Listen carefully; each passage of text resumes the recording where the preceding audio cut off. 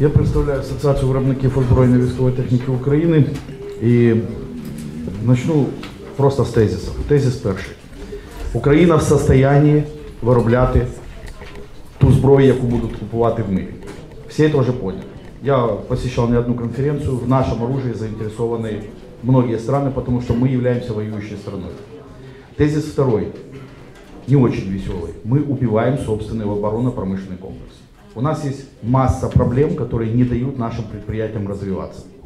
И вот сегодняшнюю площадку очень хотелось бы использовать для какой-то конкретики. Конкретика может быть следующая. Вот я вам скажу, что нас объединяет, к примеру, с Высоцким и с Лигой.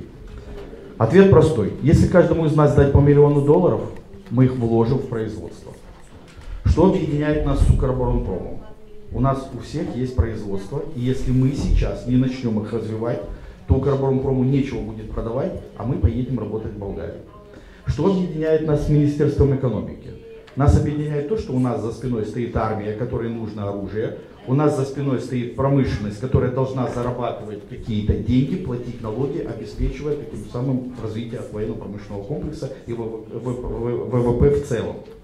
Поэтому я вам сейчас могу назвать массу проблем, потому как я и волонтер, и практик, и директор предприятия, но я хочу привести к одному общему знаменателю. Нам категорически необходимо либо при Министерстве экономики, либо при Верховной Раде создать экспертную группу, которая будет давать практические решения. Сегодня каждый из вас сказал массу проблем, решений нет ни одного.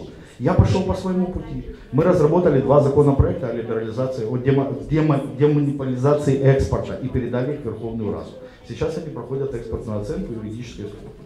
Мы идем практическим путем. Но я очень хотел бы, чтобы вы, как эксперты, прочитали эти законы и сказали, да, нас здесь все устраивает. У нас есть разные подходы к решению одних и тех же вопросов, но мы должны сами э, эту точку зрения выработать для себя и показать, что мы все согласны с этим путем. Конечная цель у нас, слава богу, единая. Нам нужна сильная армия, нам нужен мощный военно-промышленный комплекс, и нам надо то, сделать то, чтобы стоя у нас за спиной мощная сильная армия, Путин пришел и сказал, слушайте, я лучше пойду куда-нибудь Молдавию завоевывать. Пускай идет, попробуй. Я так жестко об этом говорю, я сам из Крыма, из Севастополя, меня выгнали оттуда, у меня забрали все, что там у меня было, поэтому я понимаю, что я вернусь домой только после того, как я вооружу собственную армию. Я очень хочу это сделать. Но нам нужна экспертная группа, потому что Юрий Петрович идет своим путем, Укроборонпром идет своим путем, Лига своим, я своим. И у каждого из нас есть свои решения, но мы решаем одни и те же вопросы. Нам главное понять вот это. Мы должны вместе собраться, не вот этим большим коллективом. Сегодня мы озвучили 500 проблем. Я могу еще 250 насыпать, это ничего не решит. Нам нужны решения. Не поднимать проблемы, а искать пути решения. Я не привык искать, кто виноват. Я привык искать, что делать.